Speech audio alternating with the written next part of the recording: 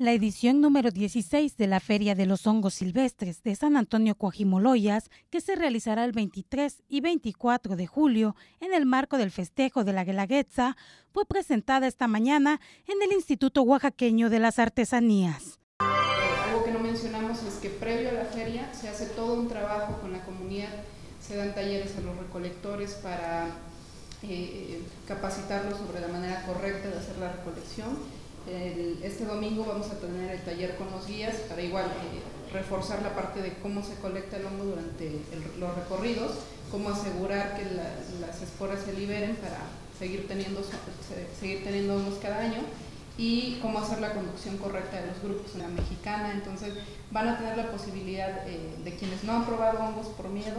de consumir no solamente hongos, sino además consumirlos a través de platillos que son exquisitos y que difícilmente los van a, consumir de manera muy, muy frecuente.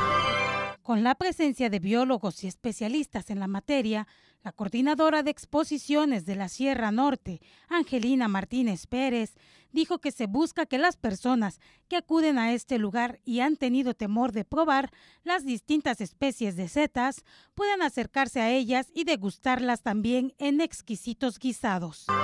Las leyendas de usar ajo, limón para ver si se cambia de color son leyendas y pueden llevar a accidentes. Entonces, el evento permite eso también de poder identificar estos hongos y también romper las, los mitos y leyendas acerca de técnicas para determinar que un hongo es tóxico comestible. No hay reglas definidas, sino conocer.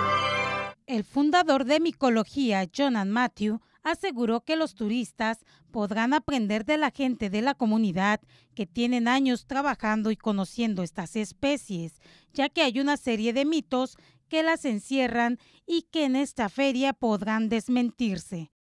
Esto se está haciendo un libro, en la segunda etapa del libro de la biodiversidad de Oaxaca, tiene un capítulo de hongos y los que lo están haciendo eh, llevan un registro de 1.500 especies de, ya de los, de los que están estudiados. Es decir, eh, se calcula, esos son los que van a salir ya el listado, pero si, si como, como decimos, se calcula que solo conocemos el 10%, entonces pensamos que a la vuelta de los años tendremos una lista de unas 15.000 especies.